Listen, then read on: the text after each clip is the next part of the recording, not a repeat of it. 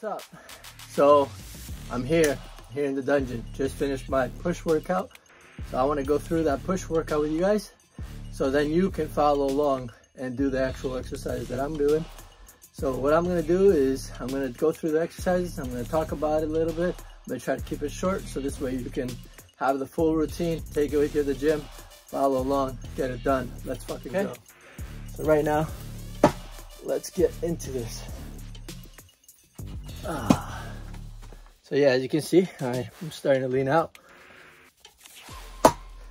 So what we'll do is, let me move this here so you can see me more.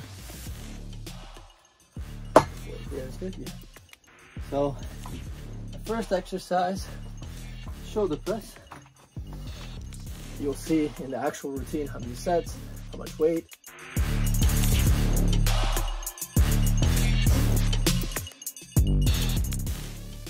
So here is what I'm doing, and it's a major tip here that's gonna help you a lot. And what I'm doing is, when I do a shoulder press or any type of pressing movement over the head, for some reason when you look up and you look at the dumbbells or you look at the barbell, and then you control in the negative, it makes... Here we move into the pretty much tricep press down or extension, but I'm doing this on the Bowflex, but you could do this in the gym. Pretty much you're setting yourself up, keeping your core tight, keep your elbows tucked in, and then just pretty much all the movement is just going to happen straight on the tricep. Just press it down, allow it to come to the top, and then press it down and repeat. Incline press with additional resistance that I have. But you don't have to add that. I just do it because I'm training at home. So pretty much you want to contract the chest here at the top. You want to think of like, you know how they say hugging the tree? But you want to try to get each uh, bicep to the other side pretty much. So like this, which is impossible, but that's the idea. That's what you want to do to get a full contraction.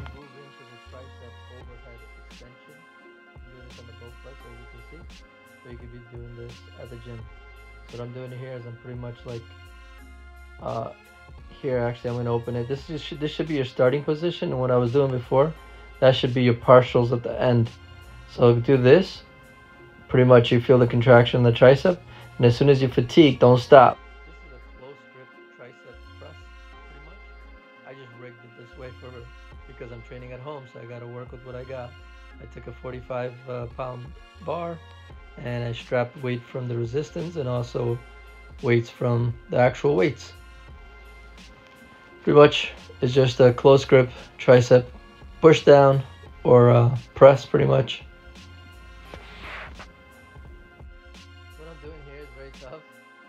I'm actually trying to push, pull myself, and I'll hold myself because the resistance is pulling me back. So I was using my legs to control it. Here we move into overhead dumbbell uh, extension, but I added resistance here. I wanted to challenge myself. So just do what you can. You don't have to use the same weights. Don't use your ego. I've been training for a while and I've been working with uh, pretty much like a strength training phase and been logging and keeping track of everything and doing progressive overload. I have found the pull day to be effective or to make it more effective is to start with your pull-ups. So do pull-ups as part of your pull day routine. I'll do five to six sets of this, maybe 10, 20, and then I'll increase it by adding weight. To the pullover, I'm adding resistance here. I'm making it really challenging here. I was having trouble to figure out how I'm going to do this. So I added the resistance from the Bowflex. As you can see, this was very challenging for me. But I wanted to challenge myself because at this phase, I'm at the strength phase. So I wasn't focusing on hypertrophy. I was focusing on, uh, on strength. So I was trying to get like five to six reps so depending on your goal, you could do sets of uh, three, four, four sets, maybe 10 to 12 reps. If your goal is hypertrophy, if your goal is strength, then five to six reps should be good. As you can see, the weights look like they're going all over the place. But I had full control of the weights, which was good. So here we move into the barbell bent over row or you can call it a Pendlay row because the way I'm doing it here is I'm actually letting it drop to the floor then I'm exploding to the top. I'm trying to keep my back into a, like a 90 degree angle. I'm trying not to round my back and I'm pushing. Here we go into uh, barbell deadlift.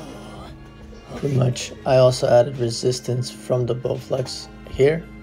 What I'm doing is I'm pretty much thinking of pushing myself away from the ground. So once you think that, you can initiate your legs, your back.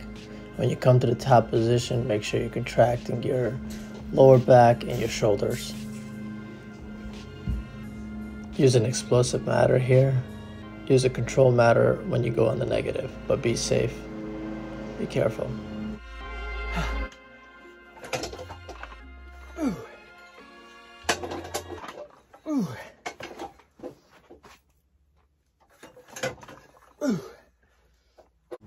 So here what I'm doing is I'm doing uh, pretty much a hammer curl, but also adding resistance from the Bowflex.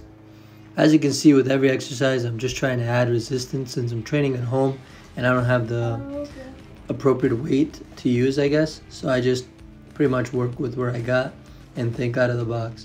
So if you need to do that, do that. At the gym, you could just use a cable pulley machine. Attach the cable pulleys and then just pretty much curl them and allow the resistance to pull you back and you go against the resistance. That's pretty much it. Here we move into heavy curls. Pretty much I'm in a seated position and I'm keeping my core tight and just curling the weight as you can see here. You want to focus on the full contraction at the top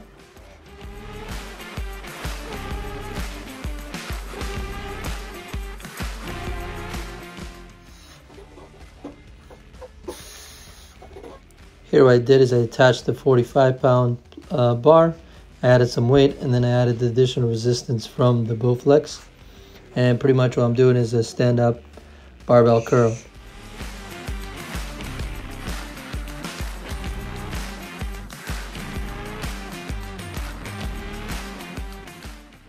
squat position here. Here we move into legs, so we move into squats. Notice how I'm grabbing the bar thing you do is you pretty much just push your butt back. As you push your butt back, the weight starts falling by themselves. Come up.